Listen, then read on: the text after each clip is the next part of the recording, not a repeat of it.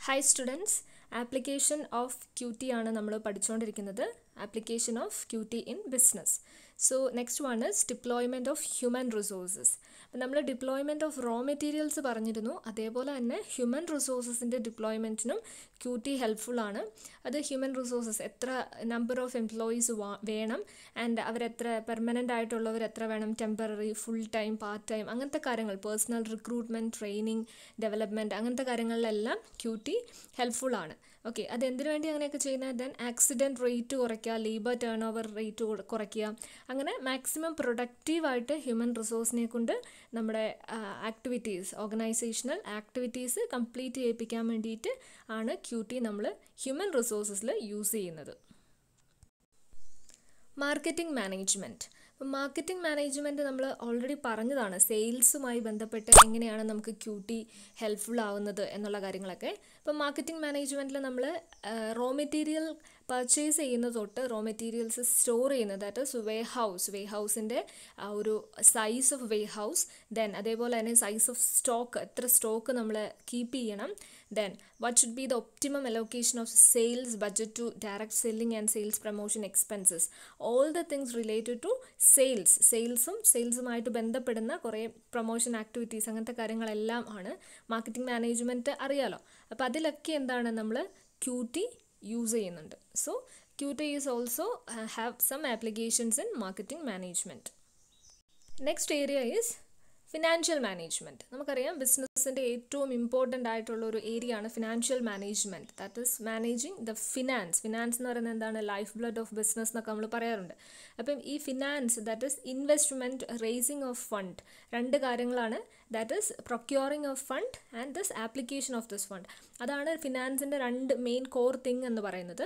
അപ്പോൾ ഈ രണ്ട് ഏരിയയിലും നമുക്ക് ക്യൂ ടി യൂസ് യൂസ് ചെയ്യാൻ പറ്റും. കാരണം എന്താണെന്ന് വെച്ചിട്ടുണ്ടെങ്കിൽ നമ്മൾ ഇൻവെസ്റ്റ്മെന്റ് ഓപ്പർച്യൂണിറ്റീസ് ഒക്കെ അസസ് ചെയ്യുമ്പോൾ ഡിഫറെന്റ് ലൈഫ് പീരീഡ് ഉള്ള investment opportunities which will which will earn us more profit അങ്ങനത്തെ കാര്യങ്ങളിലെല്ലാം നമുക്ക് എന്ത് ചെയ്യാം?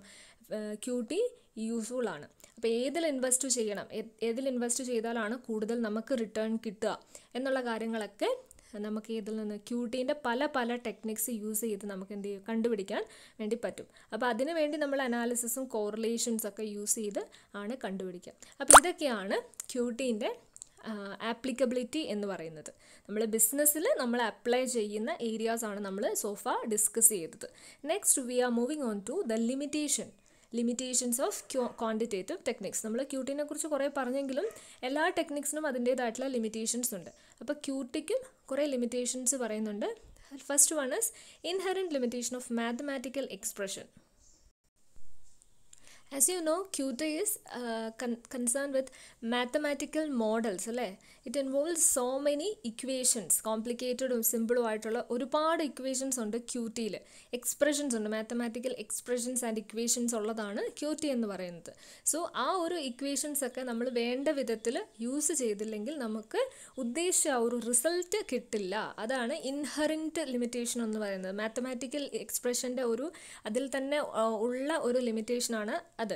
അപ്പം നമ്മളിപ്പം എക്സ് വൈ എന്നൊക്കെ പറഞ്ഞ കുറേ വേരിയബിൾസ് ഒക്കെ ഉണ്ട്. നമ്മൾ എക്സ് എടുക്കുന്ന വൈ എടുക്കുന്നൊക്കെ മാറിപ്പോയിട്ടുണ്ടെങ്കിൽ നമ്മുടെ റിസൾട്ട് നേരെ ഓപ്പോസിറ്റ് വരാൻ സാധ്യതയുണ്ട്. അപ്പോൾ അതാണ് ഇവിടെ പറയുന്നത്. നമ്മൾ പ്രോപ്പറായിട്ട് അത് ആക്ടിവിറ്റി അല്ലെങ്കിൽ ആ ഒരു എക്സ്പ്രഷൻ നമ്മൾ പ്രോപ്പറായിട്ട് എക്സിക്യൂട്ട് ചെയ്തില്ലെങ്കിൽ the result will be opposite അല്ലെങ്കിൽ നമുക്ക് ഉദ്ദേശിച്ച റിസൾട്ട് കിട്ടില്ല. ഓക്കെ അതാണ് ഒരു limitation then second one is costlier affair ആണ്. Very costly to carry out പിന്നെ അതേപോലെ തന്നെ സയന്റിഫിക് മെത്തേഡ്സ് ആണ് നമ്മൾ ചെയ്യുന്നതെന്ന് ഞാൻ പറഞ്ഞു അല്ലേ? നമ്മൾ സ്റ്റാറ്റിസ്റ്റിക്സിന്റെ ബേസിസിലാണ് നമ്മൾ കൂടുതലും ക്യൂട്ടിയിലുള്ള ടെസ്റ്റുകളും അനാലിസിസും ഒക്കെ നമ്മൾ അപ്ലൈ ചെയ്യുന്നത്. അപ്പോൾ അതുപോലെ തന്നെ അന്നേരം ഇതിന്റെയൊക്കെ ഡാറ്റ കളക്ഷൻ എന്ന് പറയുന്നതും അതിന്റെ ആ കണ്ടക്ഷനും ഒക്കെ എന്താണ്? കോസ്റ്റ്ലിയർ ആണ്. കൂടുതലും ടൈം കൺസ്യൂമിങ് ആൻഡ് കോസ്റ്റ്ലി ആണെന്ന് നമുക്ക് പറയാം. Next limitation is do not consider the intangible factor അപ്പോൾ നമ്മൾ ബിസിനസ്സിൽ ക്യൂട്ടി യൂസ് ചെയ്യുന്നുണ്ടെന്ന് പറഞ്ഞു. പക്ഷേ ഈ ബിസിനസ്സിൽ നമ്മൾ സയന്റിഫിക് മെത്തേഡ്സ് മാത്രം യൂസ് ചെയ്തിട്ടല്ല ഡിസിഷൻ എടുക്കേണ്ടത്. അപ്പം നമ്മുടെ ഡിസിഷൻ മേക്കിങ്ങിന്റെ ഒരു ബേസ് ആയിട്ടാണ് ഈ ഒരു മാത്തമാറ്റിക്കൽ ഇക്വേഷൻസും എക്സ്പ്രഷൻസും ഒക്കെ അതിന്റെയൊക്കെ റിസൾട്ട് നിൽക്കേണ്ടത്. നമ്മുടെ ഡിസിഷൻ എപ്പോഴും എന്താണ് എടുക്കുക എങ്ങനെയാണ് എടുക്കേണ്ടത്? നമ്മുടെ ഒരു ഇൻടാഞ്ചിബിൾ ആയിട്ടുള്ള കുറേ ഫാക്ടേഴ്സും കൂടെ കൺസിഡർ ചെയ്തിട്ടാണ് ഡിസിഷൻസ് എടുക്കേണ്ടത്. അപ്പോൾ അതിൽ ഒരു എക്സ്പീരിയൻസ്ഡ് ആയിട്ടുള്ള ഒരാൾ എടുക്കുന്ന ഡിസിഷനും ഫ്രഷ് ഹാൻഡ് ആയിട്ടുള്ളൊരു ഡിസിഷൻ ആളെടുക്കുന്ന ഡിസിഷനും തമ്മിൽ വളരെ വ്യത്യാസം ഉണ്ടാവും. അപ്പോൾ നമുക്ക് ക്യൂട്ടി ഒരു ടെസ്റ്റ് ചെയ്ത് ഇപ്പോൾ അനോവയാന്ന് വിചാരിക്കുക. അനോവ എന്ന് പറയുന്ന ഒരു ടെസ്റ്റ് ചെയ്ത് എഫ് ടെസ്റ്റ് ചെയ്ത് നമുക്ക് റിസൾട്ട് കിട്ടി. റിസൾട്ട് കിട്ടി ആ റിസൾട്ടിന്റെ മാത്രം ബേസിസിലല്ല ഒരു എക്സ്പീരിയൻസ്ഡ് ഗൈ ഡിസിഷൻ എടുക്കുക. അപ്പോൾ അയാളുടെ പ്രയർ എക്സ്പീരിയൻസും ആ ഒരു കമ്പനിയുടെ നേച്ചറും മാർക്കറ്റിൽ അയാൾ ആ കമ്പനിയുടെ ഹോൾഡും മാർക്കറ്റ് ഷെയറും വാല്യൂവും എല്ലാം നോക്കിയിട്ടായിരിക്കും അവർ ഡിസിഷൻ എടുക്കുക. അപ്പോൾ അവിടെ ക്യൂട്ടി വെച്ച് നമ്മൾ ഡിസിഷൻ മാ ക്യൂട്ടി വെച്ച് മാത്രം ഡിസിഷൻ എടുക്കുകയാണെങ്കിൽ അവിടെ കുറേ ഇൻടാഞ്ചിബിൾ ആയിട്ടുള്ള കുറച്ച് കാര്യങ്ങൾ അവിടെ പരിഗണിക്കപ്പെടുന്നില്ല. അത് ക്യൂട്ടിയുടെ ഒരു ലിമിറ്റേഷനുമാണ് and finally not a complete decision making process അപ്പം ഞാൻ നേരത്തെ പറഞ്ഞ പോലെ തന്നെ അതൊരു എയ്ഡാണ് എയ്ഡ്സ് ടു മാനേജ്മെന്റ് നമ്മൾ ഓൾറെഡി പഠിച്ചിരുന്നു അല്ലേ?